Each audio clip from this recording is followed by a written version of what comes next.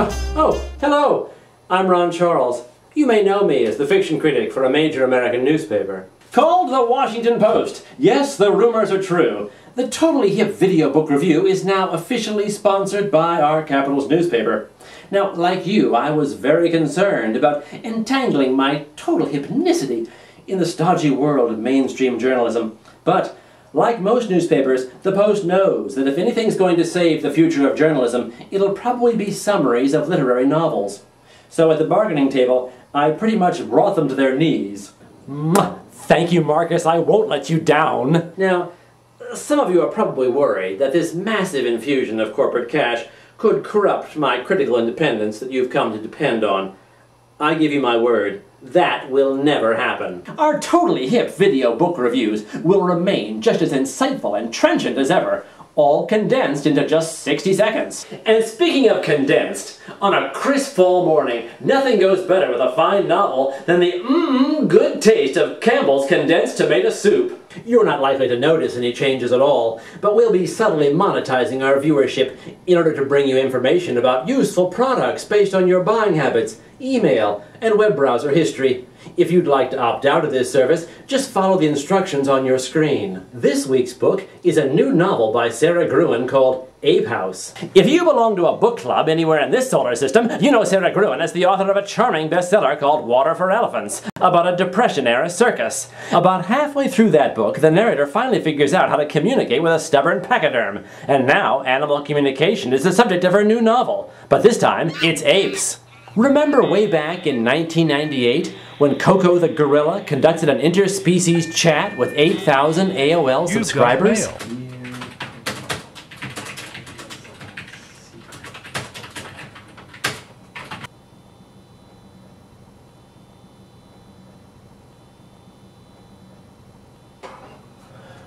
Wow!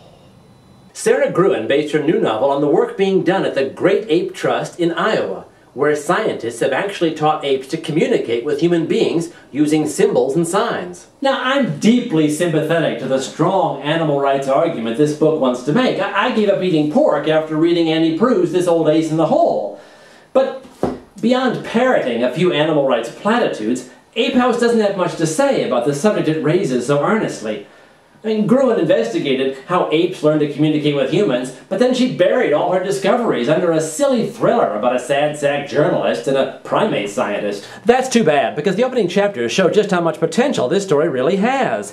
A reporter named John comes to Kansas City to write about a lab where a scientist named Isabel is actually talking to bonobos, small cousins of chimpanzees.